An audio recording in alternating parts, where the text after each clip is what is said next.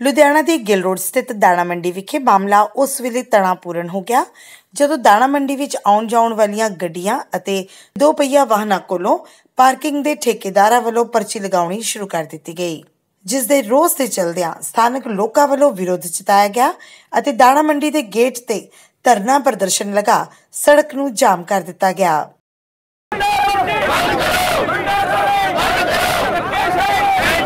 ਧੱਕੇਸ਼ਾਹੀ ਨਹੀਂ ਚਲੇਗੀ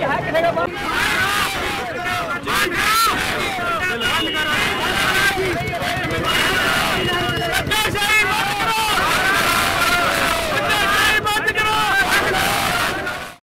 ਇਸ ਮੌਕੇ ਮੰਡੀ ਵਿੱਚ ਰਹਿਣ ਵਾਲੇ ਲੋਕਾਂ ਅਤੇ ਦੁਕਾਨਦਾਰਾਂ ਨੇ ਦੱਸਿਆ ਕਿ ਮੰਡੀ ਵਿੱਚ ਆਉਣ ਜਾਣ ਵਾਲੇ ਸਾਰੇ ਹੀ ਲੋਕਾਂ ਕੋਲੋਂ ਪਰਚੀਆਂ ਕੱਟੀਆਂ ਜਾ ਰਹੀਆਂ ਨੇ, ਜੋ ਕਿ ਨਜਾਇਜ਼ ਹੈ।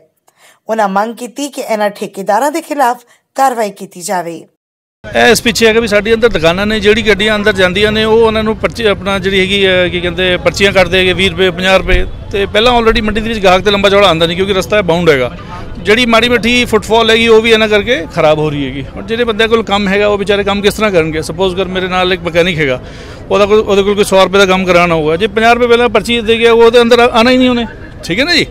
ਤੇ ਜਿਹੜਾ ਇਸ ਗੱਲ ਨੂੰ ਸਿੰਸੀਅਰਲੀ ਲੋ ਤੇ ਇਹਨੂੰ ਖਤਮ ਕਰੋ। ਦੈਟਸ ਆਲ ਜਿਹੜੇ ਪਰਚੀ ਵਾਲਿਆਂ ਨੇ ਸੀ ਇਹਨਾਂ ਨੇ ਸਵੇਰੇ ਬੰਦੇ ਵੱਟੇ ਇਹਨਾਂ ਨੇ ਪਹਿਲੇ ਵੀ ਕੁੱਟੇ ਸੀਗੇ। ਪਹਿਲੇ ਕਾਂਗਰਸ ਸਰਕਾਰ ਦੀ ਇਲੈਕਸ਼ਨਾਂ ਦੇ ਵਿੱਚ ਪਰਚੀ ਬੰਦ ਹੋ ਗਈ ਸੀਗੀ। ਅੱਜ ਫੇਰ ਚਾਲੂ ਹੋ ਗਈ ਆ। ਤੇ ਬਿਲਕੁਲ ਨਜਾਇਜ਼ ਹੈ ਪਾਰਕਿੰਗ ਨੇ ਮੰਡੀ ਬੋਰਡ ਨੇ ਜ਼ਰੂਰ ਠੇਕਾ ਦਿੱਤਾ ਹੋਏਗਾ ਇਹਨਾਂ ਨੂੰ। ਦਿੱਤਾ ਵੀ ਆ, ਠੇਕਾ ਇਹਨਾਂ ਨੇ ਪਾਰਕਿੰਗ ਦਾ ਦਿੱਤਾ, ਨਾ ਕਿ ਐਂਟਰੀ ਫੀਸ ਦਾ ਦਿੱਤਾ। ਤੇ ਅਸੀਂ ਐਂਟਰੀ ਫੀਸ ਕਾਹਦੇ ਵਾਸਤੇ ਦਈਏ? ਕੋਈ ਸਿਲੰਡਰ ਲੈਣ ਆਂਦਾ ਕੋਈ ਮਕੈਨਿਕਲ ਗੱਡੀ ਠੀਕ ਕਰਾਉਣ ਆਂਦਾ ਕੋਈ ਕੋਕ ਵਾਲਾ ਆਪਣੇ ਕਰਿਆਨੇ ਦੇ ਕੋਈ ਕੋਕ ਦੇਣ ਆਂਦਾ ਤੇ ਉਹ ਜੇ ਪੈਸੇ ਦੇ ਕੇ ਹੀ ਆਏਗਾ ਤੇ ਅਗਲਾ ਕਿਉਂ ਦੁਕਾਨਦਾਰੀ ਅੰਦਰ ਕਰੂਗਾ ਜੀ? ਬਾਹਰ ਦੁਕਾਨਦਾਰੀ ਕਿਉਂ ਨਹੀਂ ਕਰੂਗਾ ਉਹ ਮੰਡੀ? ਮੰਡੀ ਦੇ ਵਿੱਚ ਅਸੀਂ ਦੁਕਾਨਾਂ ਲਈਆਂ, ਦੁਕਾਨਾਂ 'ਚ ਬੈਠੇ ਹਾਂ ਅਸੀਂ ਅਸੀਂ ਕਾਹਦੇ ਵਾਸਤੇ ਕਰੀਏ? ਮੰਗ ਇਹ ਹੈ ਜੀ ਨਿਆਂਈ ਪਰਚੀ ਬੰਦ ਹੋਣੀ ਚਾਹੀਦੀ ਹੈ। ਇਹ ਮਾਮਲਾ ਸਰ ਇਹ ਆ ਵੀ ਜਿਹੜਾ ਦਾਣਾ ਮੰਡੀ ਦੇ ਅੰਦਰ ਕੋਈ ਠੇਕੇ ਦੇ ਦਿੱਤੀ ਆ, ਕਿਸੇ ਨੂੰ ਠੇਕੇਦਾਰ ਨੂੰ।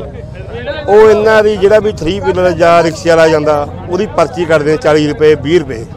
ਇਹ ਕਹਿੰਦੇ ਵੀ ਸਾਡੇ ਅੰਦਰ ਆਪਦੇ ਮਕਾਨ ਨੇ, ਉਹਨਾਂ ਨੂੰ ਵੀ ਇਹ ਪਰਚੀ ਕੱਟ ਦਿੰਦੇ ਇਸੇ ਗੱਲ ਨੂੰ ਲੈ ਕੇ ਇਹਨਾਂ ਜਾਉਂਦਾ ਉਹ ਹੁਣ ਬੈਠ ਕੇ ਇਹਨਾਂ ਨੂੰ ਬੁਲਾ ਕੇ ਇਹਨਾਂ ਦਾ ਸਮਝੌਤਾ ਕਰਨਾ, ਜਿੱਦਾਂ ਵੀ ਉਹ ਕਾਰਵਾਈ ਅੱਗੇ ਜਿਹੜੀ ਇਹਨਾਂ ਕਹਿੰਦੇ ਕੁੱਟਮਾਰ ਕੀਤੀ ਆ, ਉਹਦੀ ਕਾਰਵਾਈ ਚੱਲ ਰਹੀ ਆ।